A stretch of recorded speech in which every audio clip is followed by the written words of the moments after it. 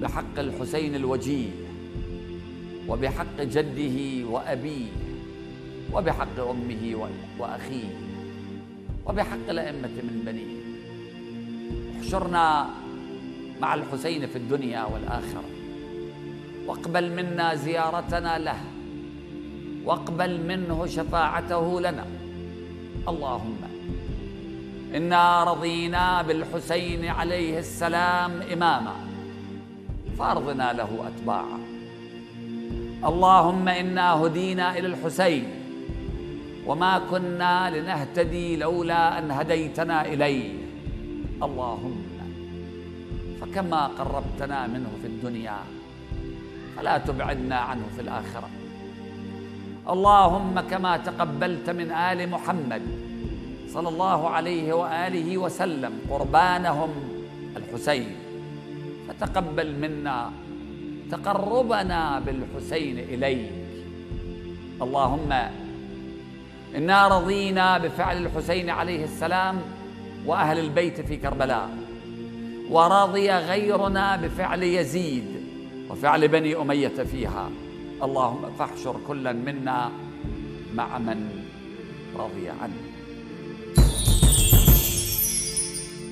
من أراد أن يعرف كيف يدافع الله عز وجل عن الذين آمنوا في الحياة الدنيا كما وعد فليقم بزيارة الحسين في يوم الأربعين. ومن أراد أن يرى كيف تتجسد القيم النبيلة في أعمال ومواقف فلينظر إلى شعب العراق وهم يتسابقون في العطاء للزوار وتقديم الخدمات للناس في تلك الزيارة.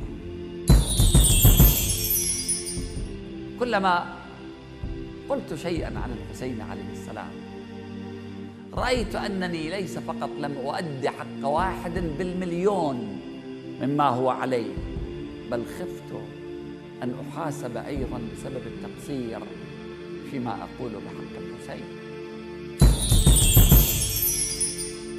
مقامات الحسين عليه السلام لا تقف عند حد لأن عطاء الحسين لأوليائه ليس له حدود. وكلما زاد الله في شرفه في عالم الملكوت ارتفع شأنه في عالم الناسوت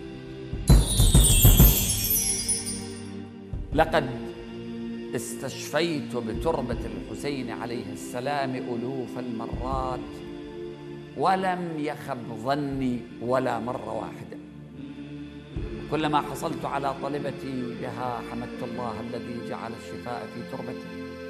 وشكرت الحسين وقلت له مولاي لله الحمد ولك الشكر فمن لم يشكر المخلوق لم يشكر الخالق.